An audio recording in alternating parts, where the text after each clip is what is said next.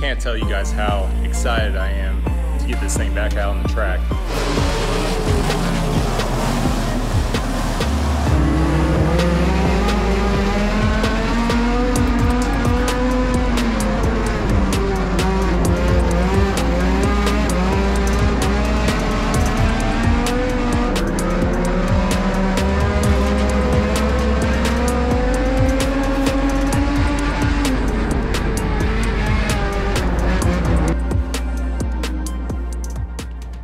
What's up, everybody? Welcome to another episode of Import Outlaws.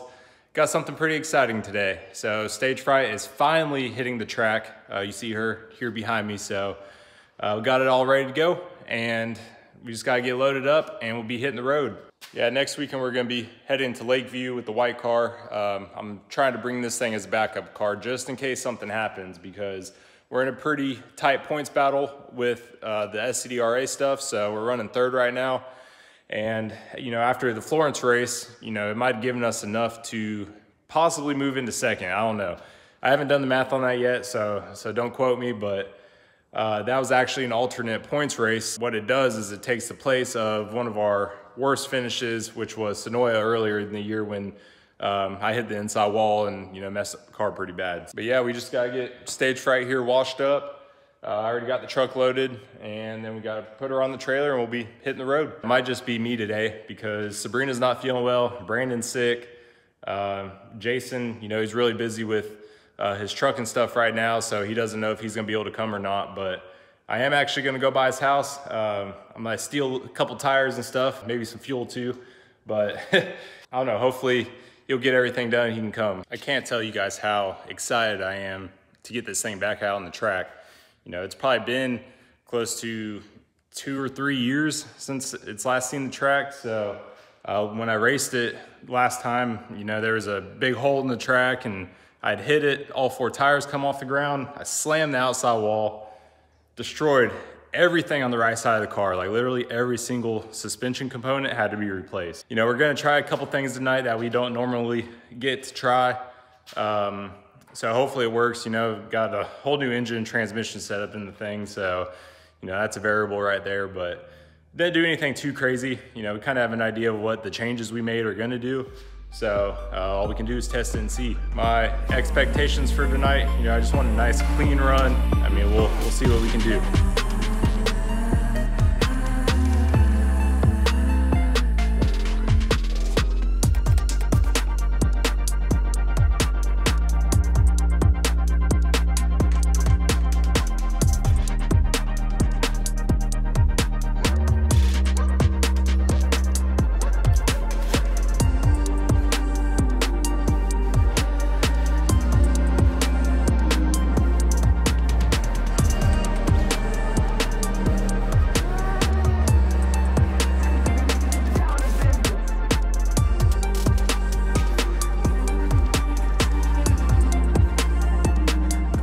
Right, well, we are all loaded up, ready to go, and our next stop will be Sumter Speedway. Got my buddy Mike right here. Um, it's just me and him tonight.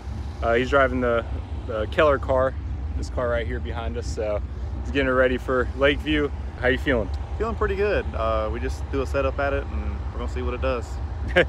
I'm kind of in the same boat. It's first time with the, the K stuff in a hatch, so we're gonna see how it works out, but uh, I'm ready for it. Got the car all serviced and uh, now we're just waiting on hot laps. Ladies and these race fans don't get to see very often, but when they do, they put on a heck of a show right here at Sumter Speedway does the Carolina Spring Well, it was a little muddy, wasn't it? I'm not excited, that's for sure. Yeah, we're gonna be mud bogging out there. Uh, glad I put the big tires on it. Means second gear might work now. Yeah, it might work. Yeah. Yeah, when we were doing pulls up and down the road the other day, this thing was ripping, so excited to see what she's gonna do. I just wanna give a shout out to Sumter Speedway for having us tonight. So we actually have a series race here next season. It's a good little time to test and tune, you know. Um, this track hasn't always been the greatest to me. Kind of seemed like I have good luck and bad luck, but um, more bad luck than good luck. So we're gonna try to change that tonight. Hopefully this thing will, uh, you know, hopefully the night will go smooth and you know, we won't have to do too much work to the car when we get home, but we'll see how these changes work out. We got a hot lap qualifying coming up here in just a minute, and um, that will set our times for the feature race. After that, you know, we'll just go into the, the feature, and I think it's like 15 or 20 laps.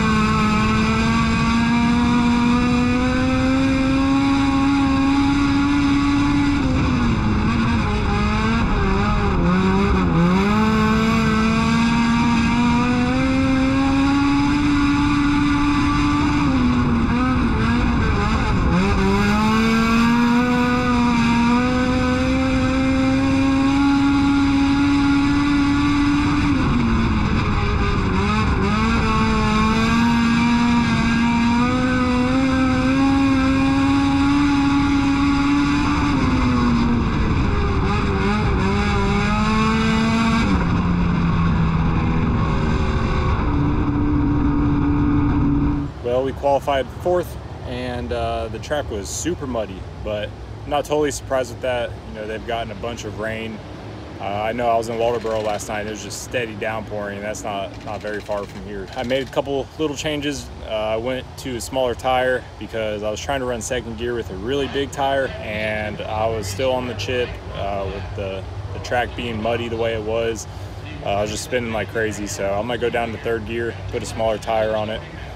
Um, but I'm a little worried. The transmission's been popping out of third gear.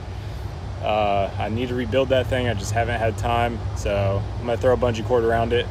Just go from first to third. It's really only gonna hurt me on the restarts because I'm gonna have to fire off in third gear and uh, it's gonna be a little boggy, but uh, hopefully I can get the tires kind of spun up with the way that the track is and uh, you know, kind of get get a good start. You know, I do want to say this about Sumter Speedway. Uh, over the last couple years, they have put a lot of work into this place to making it nice. Shout out to those guys for you know putting the effort in and you know giving us a place to race. And uh, I also want to give a shout out to my buddy Rye Bread, Ryan Williams. He's on the mic. Check out his page when you guys get a chance. It's talking dirt. But yeah, we're gonna roll off fourth, like I said, and we're gonna see what we can do. This is in true Import Outlaws fashion. You know, sometimes you just gotta make things work. Yeah, I actually just went and looked at the track and it looks really good. So hats off to you guys at Sumter putting us on a good track. So I was a little worried earlier, but uh, it came around. I haven't done one of these by myself in a while and uh, yeah, it's definitely a lot more work when you don't have an extra set of hands helping. I'm missing my wife and Kate here and I'm missing Jason. Um, you know, they're, uh, they're a damn good team to have. So uh, moments like this make you thankful, that's for sure. I really feel like I probably could have got a faster lap in qualifying, but honestly, I just drove really bad. So I don't do good on tracks like that. Um, it was just super slick and car was really loose because of some of the adjustments I made. So, but yeah, with the way that the track is right now, we should be all right. So I'm feeling pretty good about it.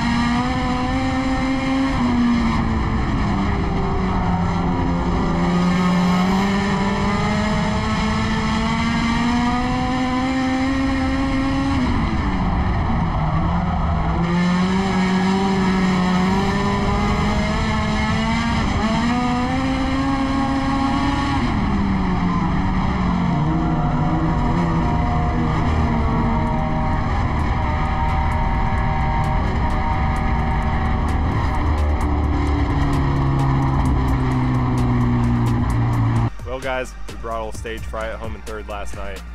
Just kind of, we were fighting a little bit of a handling issue, so um, whenever I'd get on the brakes going down the turn, you know, the car just be like darting sideways. Wasn't real great. So some of the changes I made just made the car way too loose. So definitely gotta gotta work on that. Overall, the car was great. I mean, it ran great, and you know, just outside of needing a tune, I mean, that thing's gonna be ready to rip. I think we're hitting on something good here. Had plenty of power, it felt great. Our next one is gonna be at Lakeview for the SCDRA series. It's next weekend. That track's up in Nichols, South Carolina. It's one of my favorite tracks to go to, so um, I'm really looking forward to it. And I'm ready to get back in the number 18. So that thing's been rolling this year, and uh, I'm, I'm feeling really good about this one.